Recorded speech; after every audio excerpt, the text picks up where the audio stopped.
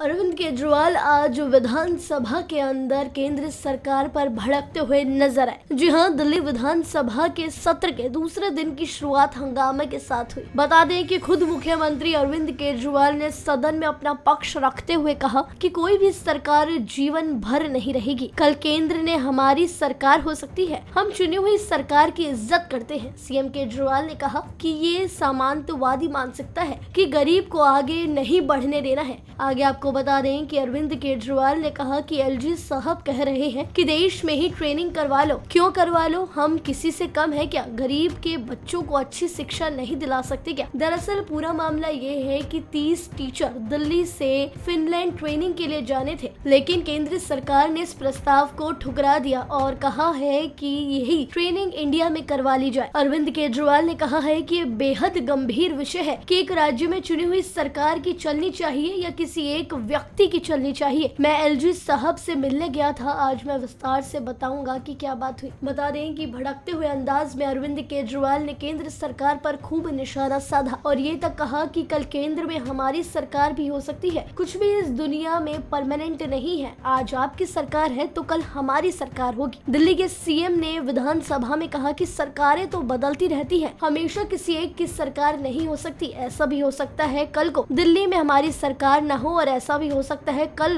को केंद्र में हमारी सरकार हो। अभी के लिए केवल इतना ही, लेकिन ऐसे ही ताज़ा तमाम बड़ी अपडेट से हमेशा जुड़े रहने के लिए देखते रहिए पंजाब केसरी डॉट कॉम